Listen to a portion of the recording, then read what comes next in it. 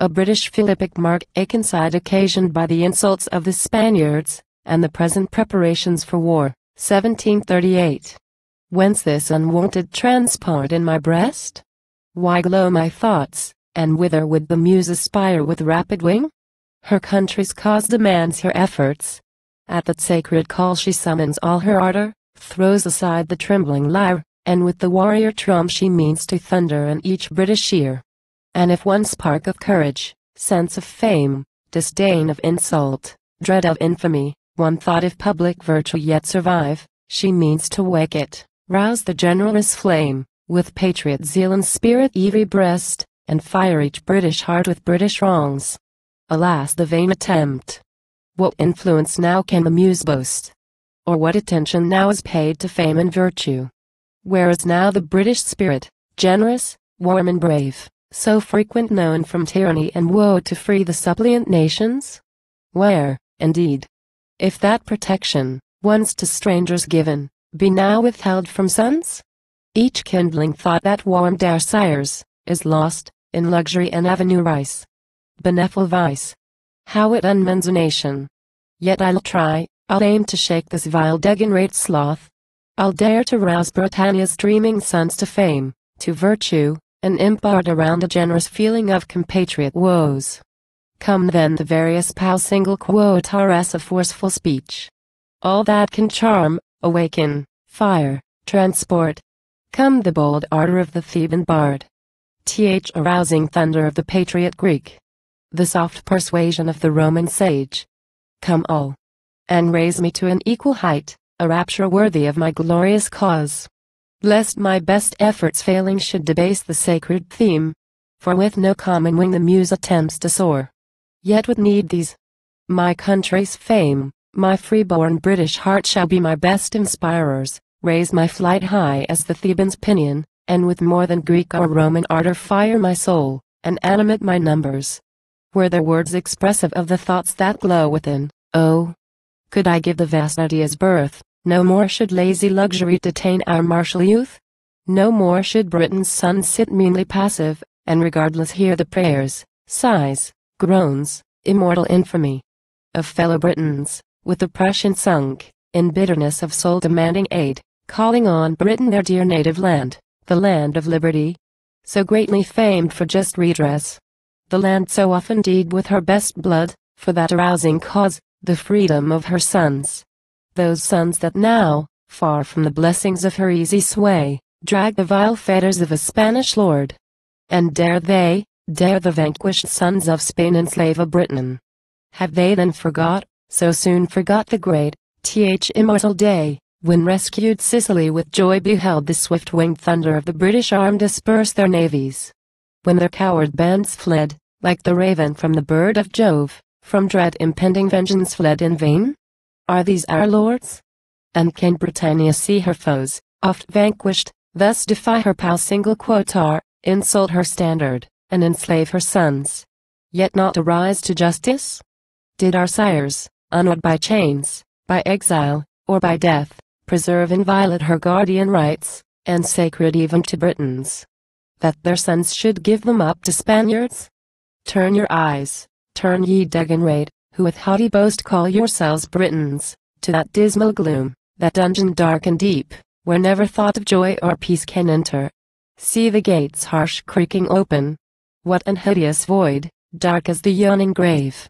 While still as death a frightful silence reigns, there on the ground behold your brethren, chained like beasts of prey, their martyr numerous glories, there behold the look that speaks unutterable woe. The mangled limb, the faint, the deathful eye with famine sunk, the deep heart bursting grunt suppressed in silence. View the loathsome food, refused by dogs, and oh, the stinging thought. View the dark Spaniard glorying in their wrongs, the deadly priest triumphant in their woes, and thundering worse damnation on their souls, while that pale form in all the pangs of death, too faint to speak, yet eloquent of all his native British spirit yet untamed, raises his head, and with indignant frowns of great defiance, and superior scorn, looks up and dies. Oh, I am all on fire. But let me spare the theme, lest future times should blush to hear that either conquered Spain durst offer Britain such outrageous wrong, or Britain tamely bore it. Descend, ye guardian heroes of the land. Scourges of Spain, descend.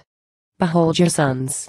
See how they run the same heroic race, how prompt, how ardent in their country's cause, how greatly proud to assert their British blood, and in their deeds reflect their father's fame. Ah! Heaven! Ye did not rather see how dead to virtue, in the public cause.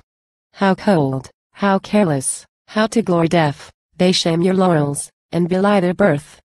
Come, ye great spirits, Cavendish, Raleigh, Blake. And ye of later name your country's pride, oh! Come, disperse these lazy fumes of sloth, teach British hearts with British fires to glow.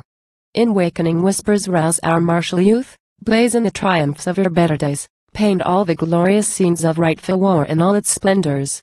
To their swelling souls say how ye bowed th insulting Spaniards' pride, say how ye thundered o'er their prostrate heads, say how ye broke their lines, and furred their ports.